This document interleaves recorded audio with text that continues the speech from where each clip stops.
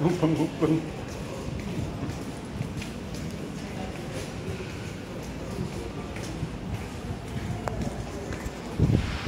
Oh, nang ruang anestesi mau.